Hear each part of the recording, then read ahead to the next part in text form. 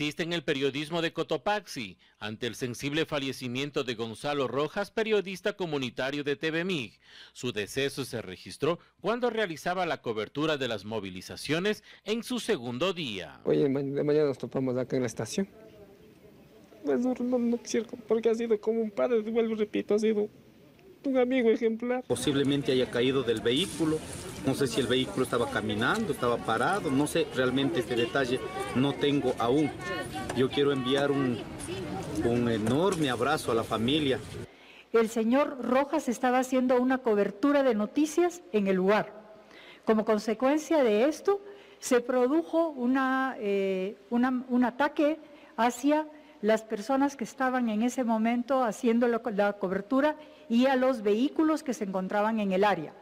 Como consecuencia de eso, el señor Rojas se, eh, se desequilibró y cayó hacia atrás en el, de la información que tenemos hasta ahora, desde el balde de la camioneta Hablando ya de las movilizaciones, en Panzaleo el tráfico vehicular fue normal durante la jornada. Conalle analiza las nuevas medidas que adoptarán. Ha evadido esa responsabilidad.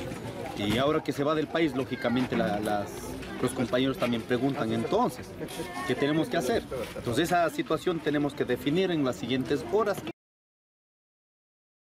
fue la ministra de Gobierno, Alexandra Vela, quien en la evaluación de la jornada ya informó que los dos militares que habían sido secuestrados en la provincia de Imbabura fueron devueltos gracias a la intervención de la Cruz Roja y también de la gobernación de esta provincia. Sin embargo, aseguró que se reservan el derecho a cualquier acción legal por este secuestro. Escuchemos las palabras de la ministra.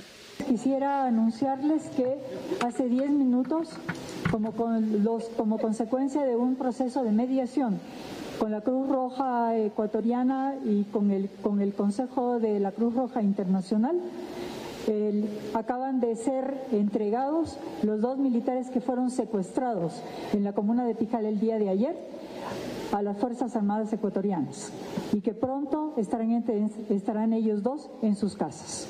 Este es un momento este, de, alegría para todos nosotros. Ellos están este, liberados en este momento. También la ministra Vela habló acerca de cómo fue el resumen de esta jornada y ella dijo que se demostró que la ciudadanía en su mayoría quiere trabajar y no apoyó estas manifestaciones. Asimismo, explicó que hubo bloqueos intermitentes. Sin embargo, policía y Fuerzas Armadas trabajaron para desbloquear estas vías y permitir la libre movilidad. Igual manera se refirió a los detenidos por las protestas de ayer y dijo que del total de los detenidos, nueve ya han sido liberados y otros esperan los procesos judiciales. También se mostró preocupada por la extrema violencia que ha habido durante estas jornadas, pues los miembros de la policía han sido atacados y hay ocho heridos, asimismo un caballo de esta fuerza. También nos informaron aquí en el Palacio de Gobierno que el presidente de la República, Guillermo Lazo, ha hecho una invitación a Leonidas Sisa para que dialoguen el día 10 de noviembre. Él está todavía en espera de la respuesta del dirigente indígena. Segundo día de manifestaciones y cierres de vía en Azuay. Las carreteras que amanecieron bloqueadas son la cuenca Girón Pasaje en Santa Isabel, la cuenca Loja a la altura de Chiña y Nabón y la vía Molleturo Naranjal. Obviamente se les está dando a conocer que la vía más adelante se encuentra cerrada y a qué altura, para que se eviten ese, ese tránsito hacia allá y y tanto por problemas en el sector vayan a ver por los manifestantes, evitar algún contratiempo. En puntos como la Y de Sayausí donde se apostaron camiones y en la Y de Tarqui donde se quemaron llantas y se colocó tierra y rocas, la fuerza del orden logró habilitar el paso vehicular. Si es que es necesario, eh, nosotros como institución policial, garantes de la democracia, debemos hacer uso progresivo de la fuerza, siempre respetando los principios de legalidad, de necesidad y de proporcionalidad. Otro de los problemas que enfrenta Cuenca es la falta de buses urbanos, que por segundo día consecutivo plegaron a una paralización desde las 6 de la mañana hasta el mediodía.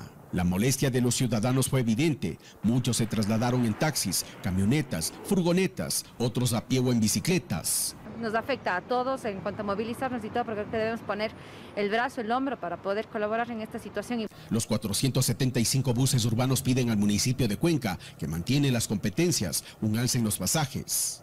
Sin embargo, la respuesta del ente municipal fue la siguiente. el pasaje finalmente al usuario no va, no va a ser, eh, la tarifa al usuario no va a ser afectada. Ingeniero, usted habló de una sanción de que se aplicará la ley. Eh, en otras palabras, ¿qué quiere decir eso? Puede haber sanciones de diferente índole, mi estimado Iván. Pueden venir desde la suspensión por un lapso de tiempo o incluso la revocatoria del permiso de operación. Los buses interparroquiales, el tranvía y buses escolares son los que han prestado el servicio durante la mañana. Con respecto a los buses urbanos, a esta hora se normalizó el servicio. Sin embargo, no se sabe qué es lo que pasa en las próximas horas y en los próximos días. Gracias en estudios, efectivamente me encuentro en el sector de Pinza, aquí en el Cantón Otavalo. Muchas personas se encuentran aquí aglomeradas, tres veces más de lo que vimos el día de ayer. Varios militares también están conversando con los dirigentes de este sector y como ustedes también pueden ver en imágenes, desde muy temprano se encuentran bastantes militares, Policía Nacional también está a punto de llegar y lo que desean es abrir la vía. Recordemos que al menos ocho bloqueos se encuentran desde el sector de San Roque hasta eh, el sector de Cajas en el límite de la provincia de Imbabura y de Pichincha. Nosotros estaremos dando a conocer qué es lo que sucede durante las próximas horas. Imbabura sigue incomunicada hasta el momento y eso es lo que podemos dar a conocer desde este punto en este sector. En Quito, cierres esporádicos en la Avenida Panamericana Norte y Leonidas Proaño. Se registran movilizaciones en la Avenida 2 de Agosto en la Intervalles. Hay cierres intermitentes en las vías Quito-Aloaj, Santo Domingo, en la carretera Quito-Calacalí, Nane Galito.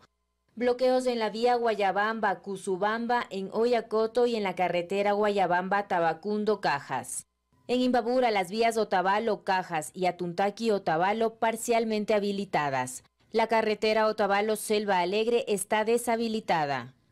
En Cotopaxi se mantiene cerrada la vía Pujilí-La En Tunguragua existe un cierre parcial en las vías Ambato-Guaranda, Puyo-Macas y Ambato-Pelileo. En la provincia de Bolívar están deshabilitadas las vías Guaranda-Riobamba, Guaranda-Panamericana, Guaranda-Gayorumi y la carretera Guaranda-Echandía. En Chimborazo, por su parte, las vías Riobamba, Alausí, Chunchi, Cuenca están cerradas en los cantones Alausí y Guamote. La carretera Riobamba-Guaranda fue bloqueada en el sector Cachizagua. En la conexión Riobamba-Penipe Baños se presenta un cierre en Cotaló y la arteria vial Riobamba-Guayaquil está cerrada en el cantón Colta. En Azuay se registra un cierre en la vía E35 en el sector de la entrada a Nabón. Otro de los temas que está acaparando la atención en Los Ángeles es la decisión de multar a compañías de cargo que tengan contenedores por mucho tiempo dentro de sus terminales, pero ¿de cuánto tiempo estamos hablando? ¿Cuánto tiempo es mucho tiempo? Así es, Rebeca. La medida que fue anunciada ayer será para los puertos de Los Ángeles y Long Beach. Los contenedores que van a transportarse en camiones podrán estar nueve días en las terminales portuarias y los que sean llevados por tren solamente tres días. Después de esto van a ser multados con 100 dólares diarios por contenedor. Esto entra en vigor el primero de noviembre y la medida busca descongestionar a los puertos de Los Ángeles y Long Beach. La desinformación es inmensa, o sea, llega de todo, eso no está filtrado. Cuando la información llega por redes sociales, esta pareja hispana desconfía, aun cuando es por WhatsApp. Mucha información falsa de grupos en los cuales estoy, entonces yo tengo que tener el criterio para decir esto es falso, esto es verdadero. La avalancha de documentos filtrados por una ex empleada de Facebook no solo ha dejado al descubierto su falta de controles para eliminar noticias falsas, sino también cómo han desaprovechado oportunidades para corregir y mejorar. Durante las elecciones del 2020, Facebook implementó un centro de información electoral para combatir la desinformación en su plataforma.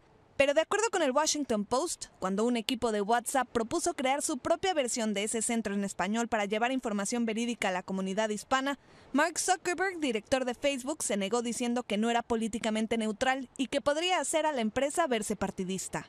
La comunidad estaba recibiendo fechas de cuándo votar que eran el día después de la votación. Estaban diciendo que la gente podía votar a través de texto, información que al fin y al cabo no nos deja ser parte de esta democracia. Un vocero de Facebook respondió que esta noticia es falsa, argumentando que WhatsApp lanzó una campaña junto con organizaciones sin fines de lucro para ayudar a la gente a obtener más información electoral. Con una plataforma de esta magnitud y estando al tanto de la mala información que se estaba propagando, el no decidir utilizarla para el bien común, creo que eso sigue dejando por claro que solo son apariencias entonces las de Facebook. Ante la amenaza que representa la desinformación a nivel global, el llamado no es únicamente a Facebook, sino también al Congreso para actualizar las regulaciones respecto al contenido en Internet.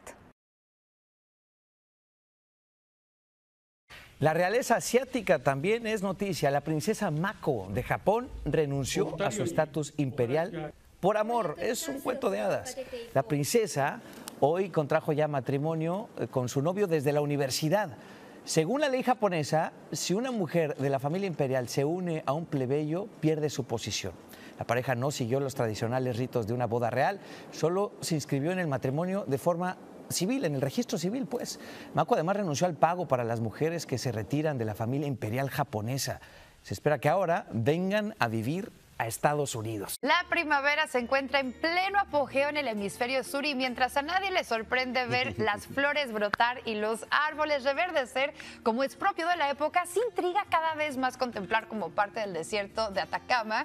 Miren nada más que se está cubriendo de este colorido manto de flores. Maravilloso, aparte de esta gran belleza, el fenómeno que se da, por cierto, cada seis o siete años no deja de preocupar a muchos, ya que ven en él una clara evidencia del calentamiento global, dado que el mencionado desierto resulta ser el más árido del mundo.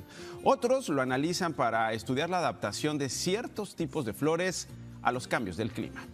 Se le conoce como desierto florido, pues usted me dirá si no, ¿verdad? Eh, porque bueno, así le han llamado. Ahora, estas flores son como patas de guanacos y celestinas, haciendo que el paisaje entre el norte de La Serena y el sur de Antofagasta se llene de este impresionante espacio multicolor. Los biólogos lo ven como un laboratorio natural y explican que el hecho se asocia con el fenómeno climático denominado el niño y suele darse luego de un periodo de ausencia de heladas y precipitaciones durante un largo periodo. Ello hace que las semillas que se ocultan bajo la tierra se duerman consiguiendo que llegadas las tormentas primaverales, las semillas entonces comiencen a germinar y luego florecer para darnos este regalo, este maravilloso paisaje.